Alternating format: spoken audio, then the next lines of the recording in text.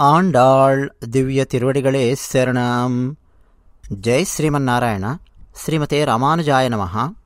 మీ మీ అభిప్రాయాలను కామెంట్ సెక్షన్లో మాతో పంచుకుంటూ ఉన్నారో వాళ్ళందరికీ ప్రత్యేకమైన ధన్యవాదాలు చెప్తూ ఈరోజు విషయం లోపలికి వెళుతూ ఉన్నాను. ఈ గోష్ఠిలో భాగంగా ఈరోజు కొన్ని సాంకేతికపరమైన అంశాలను మనం మాట్లాడుకోవడానికి ప్రయత్నం చేద్దాము. కొన్ని పదాలు పరిచయం చేయడానికి ప్రయత్నం చేస్తాను. ఉపాయము అంటూ ఉంటారు. ఉపేయము అంటూ ఉంటారు. ఏమిటి ఇవన్నీ?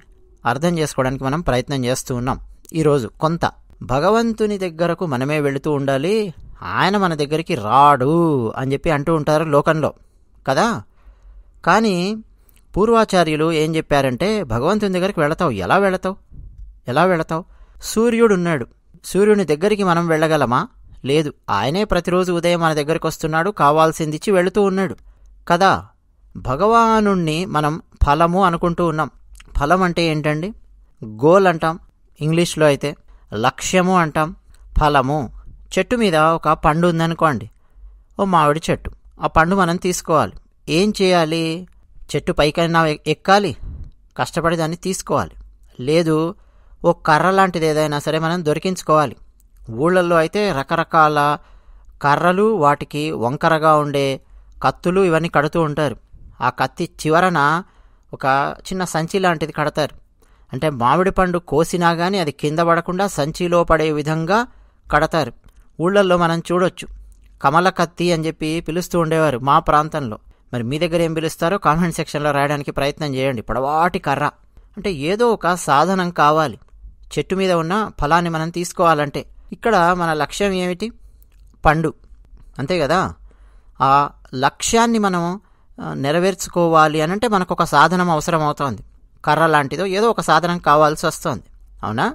సంస్కృతంలో సాధనాన్ని ఉపాయము అంటారు. మన లక్ష్యాన్ని నెరవేర్చుకోవడం కోసం ఏదో ఓ సాధనాన్ని మనం ఉపయోగిస్తున్నాం కదా? దాన్ని ఏమంటారు సంస్కృతంలో? ఉపాయము అంటారు. తెలుగులో ఉపాయం కాదు. తెలుగులో ఉపాయం అంటే మళ్ళీ వేరు. తెలుసును కదా? ఐడియా అంటాం తెలుగులో అయితే. కానీ తెలుగు ఉపాయం కాదు ఇది. సంస్కృతంలో ఉన్న పదం ఉపాయము. అంటే సాధనము గుర్తుపెట్టుకోండి. కావాలనే మళ్ళీ మళ్ళీ ఒత్తి మరీ నొక్కి మరీ చెప్తూ ఉన్నాను. ఎందుకంటే భవిష్యత్తులో మనము రామానుజాచార్యుల వారి గురించి మాట్లాడుకున్నా అది శంకరాచార్యుల వారి గురించి మనం మాట్లాడుకున్నా మధ్వాచార్యుల వారి గురించి మనం మాట్లాడుకున్నా వారి సిద్ధాంతాలకు సంబంధించి మనము చర్చోపచర్చలు గోష్ఠి మనం నిర్వహిస్తూ ఉన్నా ఉపాయము అనే పదాన్ని మనం ఎప్పుడైనా సరే ప్రయోగించుకున్నాము అంటే సాధనము అని చెప్పి అర్థం చేసుకోవాలి. సరేనా? అయితే ఫలము. మామిడి పండు కదా మనకు కావాల్సింది. దాన్ని ఏమన్నారు అని అంటే ఉపేయము అన్నారు. అంటే మనం పొందేది మన లక్ష్యము మన గోల్ ఎయిమ్ మీరు ఏమైనా పిలవండి. కావాల్సినటువంటి ఫలము. దాన్ని ఉపేయము అన్నారు. సాధనాన్ని పట్టుకొని ఉపాయం ద్వారా ఉపేయాన్ని మనం సాధిస్తూ ఉన్నాం. అంటే ఫలాన్ని మనం సాధిస్తూ ఉన్నాం. కదా? ఇక్కడే ఒక చిన్న తేడా ఉంది.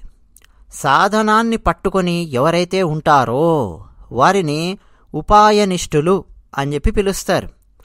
ఫలాన్ని పట్టుకొని ఎవరైతే ఉంటారో వారిని ఉపేయనిష్ఠులు అని పిలుస్తారు. మరి వ్రతం చేస్తూ ఉన్నారు గోదాదేవి అమ్మవారు. నిజానికి గోదాదేవి అమ్మవారు ఉపాయనిష్ఠులల్లో ఉన్నారా ఉపేయనిష్ఠులల్లో ఉన్నారా అన్నది మనం మొట్టమొదటగానే మాట్లాడుకున్నాం చర్చించుకున్నాం. మనకు పూర్వాచార్యులు అందించినటువంటి అనుగ్రహంతో వీళ్ళు వ్రతం చేస్తూ ఉన్నారు కదా? మనం వ్రతాలు దేనికోసం చేస్తామండి? లోకంలో? చెప్పండి. ఫలానా సమస్య వచ్చిందండి అంటే ఫలానా వ్రతం చేయండి. ఆ సమస్య తీరిపోతుంది అంటూ ఉంటారు కదా? వ్రతం చేస్తారు ఆ సమస్య తీరిపోతూ ఉంటుంది. సమస్య తీరడం అన్నది ఫలం అంతేనా? సమస్య తీరడం కోసం వ్రతాన్ని ఒక సాధనంగా ఉపయోగిస్తూ ఉన్నారు లోకంలో. వీళ్ళ వ్రతము ఉపాయము అని చేయడం లేదు తిరుప్పావై వ్రతము. అది ఇక్కడ మనం ప్రత్యేకంగా మాట్లాడుకోవాలి. అంటే ఏమిటి? ఏదో పొందడం కోసం సాధనంగా తిరుప్పావై వ్రతాన్ని చేయడము లేదు అదన్నమాట. అదేంటండి? ఏదో ఒకటి పొందడం కోసం కాకపోతే ఎందుకు ఈ వ్రతము? ఇదే కదా ప్రశ్న. కొంచెం లోతు లోపలికి మనం వెళదాం. గోపికలు కోరేదేమిటి? ఆండాళ్ అమ్మవారు కోరేదేమిటి? కృష్ణుడిని. కదా? కృష్ణుడు ఇచ్చేది తీసుకోవడం కాదు. వీళ్ళ లక్ష్యము కృష్ణుడిని వీళ్ళు కోరుతూ ఉన్నారు. అవునా? ఆయనే కావాలి అని కోరుకుంటూ ఉన్నారు. ఆండాళమ్మవారు కానీ గోపికలు కానీ వీళ్ళందరినీ ఉపేయనిష్ఠులు అని చెప్పి పిలుస్తారు. కృష్ణుడు వీళ్ళకు ఉపేయము. కృష్ణుడే వీళ్ళకు ఉపాయము. ఆయనే సాధనము ఆయనే ఫలము. ఇదన్నమాట. అర్థమైందా? ఇంకా చెప్పుకుందాం. మన పూర్వాచార్యులు పెద్దలు అనుగ్రహించిన ఆ భాషణాలలో నుంచి ఒకటి రెండు చిన్న ఉదాహరణలు చెప్తే మీకు ఇంకా సులభంగా అర్థం అవుతుంది. మనకు సులభంగా అర్థం చేయించడం కోసమే ఆచార్యులు ఎందరో ఉన్నారు ఎన్నెన్నో వ్యాఖ్యానాలు ఉన్నాయి. కదా?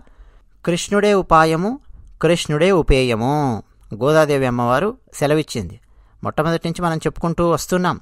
కృష్ణ పరమాత్మ ఆయనే మా మార్గము ఆయనే మా లక్ష్యము అని చెప్తూ వస్తున్నారు గోదాదేవి అమ్మవారు. మొట్టమొదటి పాశురంలోనే మనం చెప్పుకున్నాం. లోకంలో ఉండే ఫలాలు. అవన్నీ తాత్కాలికంగా మన దగ్గర ఉండే ఫలాలు. మామిడి పండు తీసుకున్నాం సాధించాం తిన్నాం అయిపోయింది. కొంతకాలం మాత్రమే ఆ పండు మన దగ్గర ఉంటుంది. అవునా కాదా? ఆ తర్వాత దాని స్వరూప స్వభావాలు మారిపోతాయి కాలంలో ఇక ఆ పండు అనేది ఉండదు. వాటిని సాధించడం కోసం ఉపాయాలు లోకంలో చాలా ఉన్నాయి. అలాంటి వాటిని సాధించడం కోసం. భగవానుడే ఫలము అని చెప్పి అనుకున్నప్పుడు మరి ఏ ఉపాయము ద్వారా ఏ సాధనము ద్వారా భగవంతుణ్ణి సాధించాలి? ఈ ప్రశ్న వచ్చింది. లోకంలో. ఇక్కడే అండి రకరకాలుగా పూర్వాచార్యులలో థాట్ ప్రాసెస్లో డిఫరెన్స్ ఆఫ్ ఒపీనియన్ అనేది వచ్చేస్తుంది. ఎలా సాధించాలి అన్నది. దానికోసమే మనకు పెద్దలు ఎందరో చర్చోపచర్చలు చేశారు. లోకంలో పరమాత్మను సాధించాలి అనంటే కర్మ ఒక సాధనం. కర్మ ద్వారా భగవంతుణ్ణి సాధించడం. భక్తి భక్తి ద్వారా భగవంతుణ్ణి సాధించడం. ప్రపత్తి ప్రపత్తి ద్వారా భగవంతుణ్ణి సాధించడం. సంపూర్ణ శరణాగతి భగవంతుణ్ణి సాధించడం. అవేవి కూడా స్వతంత్రమైనవి కావు అని శ్రీకృష్ణ పరమాత్మ భగవద్గీతలో చెప్పారు అన్నది రామానుజాచార్యుల వారి భాష్యం. అర్థమైందా? ఇప్పుడు చెప్పినవి కర్మ భక్తి ప్రపతి ఇవన్నీ ఉన్నాయి. సరే ఇవేవి కూడా స్వతంత్రమైనవి కావు. భగవద్గీతలో కృష్ణ పరమాత్మ ఏం చెప్పారంటే అర్జునుడితో నేను అనుగ్రహిస్తే తప్ప నేను నీకు లభించను అని చెప్పారు. నేను వేదం చదివితేనో దానాలు చేస్తేనో ఇంకేంటేంటో చేస్తేనో లభించేవాడిని కాను నేను అనుగ్రహిస్తే తప్ప నీకు నేను లభించను. నేనేమనుకున్నాను? నీకు నా విశ్వరూపం చూపించాలి అనుకున్నాను. నేను అనుకున్నాను కాబట్టి నా విశ్వరూప సందర్శన నీకు కలిగింది. నువ్వు భక్తిగా ఉండడం వల్ల నా విశ్వరూప సందర్శనం కలగల. నువ్వేదో కర్మ చేయడం వల్ల నీకు విశ్వరూప సందర్శనం కలగల. ఉన్నారు లోకంలో చాలామంది చాలా చాలా చేసేవాళ్ళు ఉన్నారు. మంచిదే. నేను అనుకున్నాను కాబట్టి నువ్వు నన్ను చూడగలిగావు. ఇంకా ఉదాహరణ లోపలికి వెళ్ళాలంటే మనకు తెలుగులోనే మన చిన్నజీర స్వామివారు ఉన్నారండి. మనకు చక్కటి ఉదాహరణలు చెప్పడంలో రామానుజాచార్యుల వారి భాష్యానికి సంబంధించి విశిష్టాద్వైతానికి సంబంధించి తిరుపావైకి సంబంధించి చిన్నజీర స్వామివారు ఉదాహరణలు ఇస్తూ సింప్లిఫై చేశారు. అందుకే అండి మనకు గురువులు కావాలి. అంతా మనకే తెలుసు మనమే మహాత్ములము అని చెప్పి ఎప్పుడు కూడా అనుకోకూడదండి. జటిలమైనవి అర్థం చేసుకోవాలి అంటే గురువులు కావాల్సిందే. జటిలమైన బ్రహ్మసూత్రాలను అర్థం చేయించడానికే మనకు ఆచార్యులు వచ్చారు. సరే ఒక్కొక్కరు ఒక్కొక్క కోణంలో చెప్పి ఉండవచ్చు తత్వాన్ని. ఆదిశంకరుల వారు రామానుజుల వారు మధ్వాచార్యుల వారు వారందరూ వేద మార్గంలో నడిచి చూపించిన వారే. కదా? మన చిన్నజీర స్వామి వారు ఏం చెప్పారంటే ఉదాహరణ గోశాల లోపలికి వెళ్ళండి. చేతుల్లో గడ్డి పట్టుకొని నించోండి. దూడ మీ దగ్గరకు వస్తుంది ఆ గడ్డి తినడానికి. అవునా? సాధనము ఏమిటి? ఆలోచించండి. దూడను మీ దగ్గరకు ఏది రప్పించగలిగింది? మీ చేతుల్లో ఉన్న గడ్డి దూడను మీ దగ్గరికి రప్పించగలిగింది. దూడ పొందినటువంటి ఫలం ఏమిటి? గడ్డి. గడ్డే దూడను ఇక్కడి దాకా రప్పించగలిగింది. ఏది రప్పించలేదు. దూడను. ఎవరు తరమలేదు కర్ర తీసుకొని కొట్టలేదు. అదిగో అక్కడ గడ్డి ఉంది చూడండి. ఏమీ చెప్పలా. గడ్డి పట్టుకొని నించున్నారంతే. దూడ చూసింది మీ దగ్గరికి వచ్చేసింది. సాధనం ఏమిటి ఇక్కడ? దూడకు గడ్డే. పొందిన ఫలం ఏమిటి? గడ్డే. అలాగే చిన్న పాప ఊయలలో పడుకొని ఉంది. తల్లి ఒళ్ళోకి వెళ్ళాలి అనుకుంది. ఫలం ఏమిటి? పాపకు తల్లి ఒడి చేరాలి. తల్లి వచ్చి పాపని ఎత్తుకోవాలే తప్ప పాప ఏమన్నా ఉయ్యాల్లోంచి దూకి పరిగెత్తుకొని వెళ్ళి తల్లి ఒళ్ళో కూర్చుంటుందా? ఆ పాప కూర్చోలేదు. ఉదాహరణ అనమాట తల్లే ఆమెకు ఫలము తల్లే ఆమెకు సాధనం తల్లే వచ్చి ఆమెను ఎత్తుకోవాలి. ఇదన్నమాట. రామానుజాచార్యుల వారి మార్గము.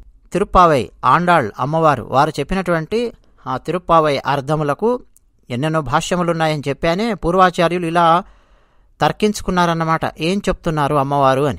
దీనికి ఒక పేరుందండి. మార్జాల కిషోర న్యాయము అని చెప్పి అంటాం. పిల్లి తన పిల్లలను ఏడు చోట్లకు మారుస్తుంది అని చెప్పి అంటూ ఉంటారు పెద్దలు. రక్షించడం కోసం. కదా? పిల్లి ఏం చేస్తుంది? తన పిల్లలను ఆ మెడ దగ్గర పైన అలా తన పంటితో పట్టుకొని పళ్ళతో పట్టుకొని ఒక ప్రదేశం నుంచి మరో ప్రదేశానికి మారుస్తూ ఉంటుంది. పిల్లి పిల్ల ఏమన్నా సరే ఎఫర్ట్ పెడుతుందండి ప్రదేశం మారడానికి? ఏ ఎఫర్ట్ పెట్టదు పిల్లి పిల్ల? తల్లే అంటే ఆ పిల్లి గట్టిగా తమ పిల్లల్ని పట్టుకొని తీసుకెళ్ళి జాగ్రత్తగా అక్కడ పెట్టేస్తుంది. తల్లి పిల్లలను పట్టుకున్నప్పుడు మెడ మీద కరిచి అలా పట్టుకున్నప్పుడు పిల్లలకు రక్తం గారడం కానీ గాయం కానీ ఇబ్బంది కలగడం కానీ ఏమీ ఉండదు. అంత జాగ్రత్తగా పట్టుకొని మరీ తీసుకెళ్తుంది. మనం గనక ఆ తల్లి పిల్లి నోట్లో వేలు పెట్టామా? అంతే వేలు కట్ అయిపోతుంది అక్కడికి. పదును అలా ఉంటుంది పళ్ళల్లో. కానీ పిల్లల్ని మాత్రం అంత జాగ్రత్తగా తీసుకెళ్తుంది. భగవానుడు కూడా అలాంటివాడే దీన్ని మార్జాల కిషోర న్యాయము అంటాం. నేను భగవానునికి చెందినవాణ్ణి. అన్న విషయం మనకు తెలిస్తే చాలు. భక్తిగా ఉండొద్దు అని కాదు కర్మ చేయొద్దని కాదు భక్తి ఉండాలి కర్మ చేయాలి జ్ఞానము ఉండాలి. అందుకే కదా మన పక్షుల గురించి మనం మాట్లాడుకున్నాం. జ్ఞానము కర్మ చెరో రెక్కలుగా కలిగి ఉంటాయి పక్షులు అని. అలా మనము పక్షుల్ని అర్థం చేసుకోవాలి అని చెప్పి మనం చెప్పుకున్నాం. భక్తి ఉండాల్సిందే కర్మ చేయాల్సిందే అన్ని చేయాల్సిందే. కానీ మనం అనుకోవాల్సింది ఏమిటి అంటే నేనేదో చేస్తున్నాను కాబట్టి భగవంతుడు నాకు లభిస్తున్నాడు అని అనుకోకండి. నేను ఈ కర్మ చేస్తున్నాను కాబట్టి నాకు భగవంతుడు లభిస్తున్నాడు. అనుకోకండి. నేను ఈ భక్తి ఇవన్నీ చేస్తున్నాను కాబట్టి నాకు లభిస్తున్నాడు అని చెప్పి అనుకోకండి. ఆయన మనకు లభించాలి అని ఆయన అనుకున్నాడు కాబట్టి పూర్తిగా ఆయన చేతుల్లో ఉంది. ఆయన పూర్తి స్వతంత్రుడు. ఆయన దయ వల్ల మనకు ఆయన లభిస్తూ ఉన్నాడు అని అనుకోండి అని చెప్తూ ఉన్నారు పూర్వాచార్యులు. అయితే దీనికి విరుద్ధంగా ఇంకొకటి ఉన్నది. దాన్ని మర్కట కిషోర న్యాయము అంటాం.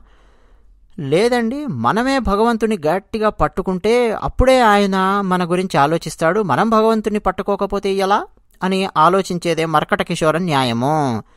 కోతి ఒక చెట్టు మీద నుంచి మరో చెట్టు మీదకి దూకుతూ ఉంటుంది స్వతంత్రంగా. కానీ ఆ కోతి పిల్ల గట్టిగా కోతిని పట్టుకొని ఉంటుంది. అవునా? కోతి పిల్ల గనక చెయ్యి వదిలేసిందా? అది ఎక్కడ పడుతుందో తెలియదు కింద. దీన్ని మర్కట కిషోర న్యాయము అంటాం.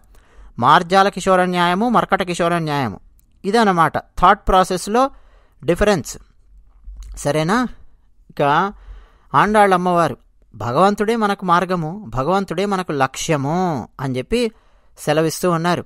ఆ భగవంతుణ్ణి మనం పొందాలి అని చెప్పి అనుకుంటే మన స్వార్థం కోసం మనం పొందాలి అని ప్రయత్నం చేయకూడదు. ఈ వ్రతం కూడా మనం దేనికోసం చేస్తున్నాము? భగవంతుడు నాకు కావాలి అని చెప్పి అనుకుంటే నేను కూర్చొని విడిగా ధ్యానం చేసుకుంటాను భక్తిగా ఏదో చదువుతాను పరమాత్మకు సంబంధించిన ఒక వ్రతం చేస్తాను అయిపోయింది. నాకు భగవంతుడు దొరుకుతాడు అనుకుంటే కాదు లోకహితం కోసం మనం ఈ వ్రతం చేస్తున్నాము. లోకహితం కోసం ఇతరులను మనం నిద్రలేపుతూ ఉన్నాము. భగవంతుడు ఉన్నాడయా? చూడండి భగవంతుని వైపు కాస్త అలా తెలుసుకోండి ఆ జ్ఞానాన్ని మీలో నింపుకోండి అని చెప్పడం కోసం ఈ వ్రతం చేస్తున్నాము. అదనమాట విషయం.